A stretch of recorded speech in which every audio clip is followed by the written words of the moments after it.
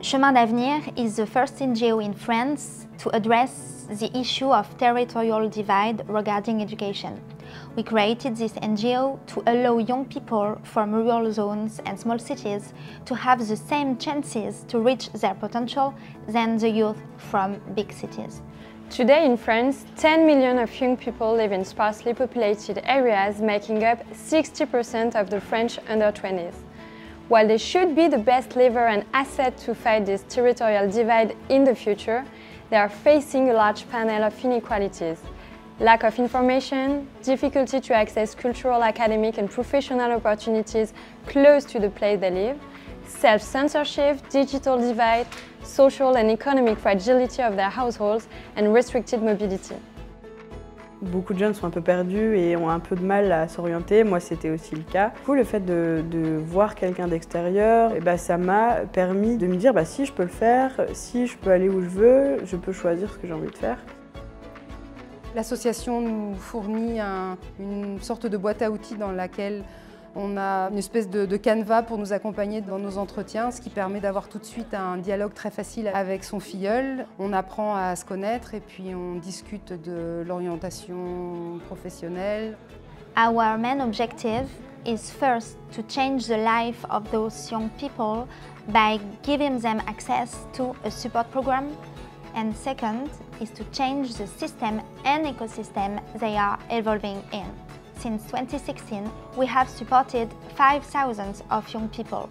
When we compare it to the social need of the 10 millions of young people concerned by the problem, we are still far from addressing the issue entirely. The problem we are tackling is systemic, and our mission cannot be fulfilled only by us growing bigger. We now need to fully tackle this issue by amplifying our indirect impact to provoke a tangible system change. We have been preparing for this over the past years and we feel that today is the right moment to fully implement it. Chemin d'avenir est une association en forte croissance, extrêmement structurée et que nous partageons avec eux le combat de la lutte contre le déterminisme social, mais également la rigueur dans l'exécution. Regarding our direct actions, our latest impact study shows that 81% of our beneficiaries have a better perception of themselves after the program, two-thirds of them are more confident about their future, and 97 of them declare being able to reach their full potential. Regarding the system change strategy, we've been conducting several actions like writing books, organizing events, working with ministries, gathering some data to engage a global mindset shift. For example, in 2020, we produced a report for the French Ministry of Education, and thanks to this report, two of our recommendations are now being tested in public policies.